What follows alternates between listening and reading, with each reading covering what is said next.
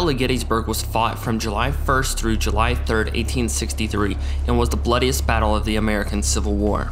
Between 46,000 and 51,000 men were killed, wounded, captured, or missing after three days of bloody fighting, so it's no surprise that Gettysburg is said to be very haunted. Today we're going to take a look at three main hauntings at Gettysburg and see why Gettysburg is known as America's most haunted battlefield. The Daniel Lady Farm was used as the Confederate Army's field hospital during the battle.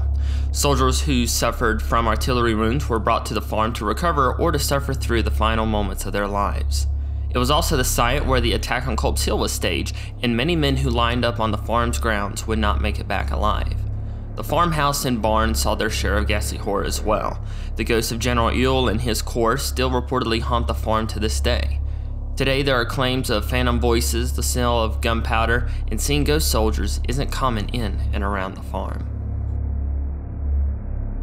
Little Round Top was a key part of the Union defensive position during the battle and was a site of some of the heaviest fighting.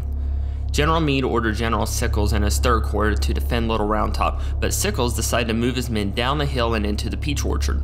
Meade quickly called in his reserves to help Sickles, who was about to be flanked, and overseeing the end of the flank was the 20th Maine Infantry. After fighting off attacks by Confederate line infantry, the 20th Maine, after running out of ammunition, made a brave charge down the ridge and routed the Confederate soldiers. It makes sense that people have seen the spirits of soldiers from the 20th Maine wandering around, as well as hear sounds of battle going on.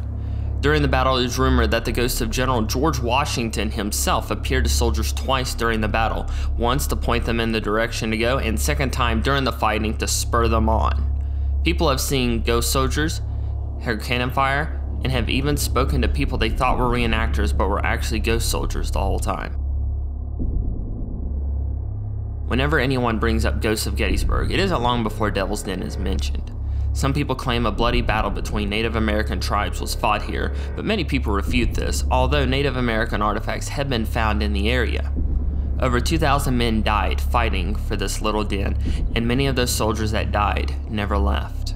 The spot was known to be haunted long before the battle, and soldiers even reported that it felt eerie during the battle.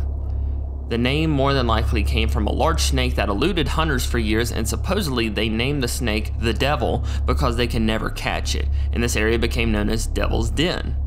People have claimed to hear Native American war drums, Civil War music, gunfire, and there are many claims of people being approached by what looks to be reenactors and talking to them for a short while before the soldier disappears into thin air.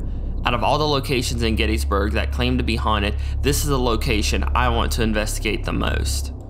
So those were three locations in Gettysburg on the battlefield that are said to be haunted. Which location was the scariest to you and which one would you investigate first? I want to thank you all for watching the video. Don't forget to leave a like if you enjoy the video, comment your favorite location or what you think would be the scariest, and subscribe for more. But from Fife Paranormal, I'm Jake. Have a great day, everyone.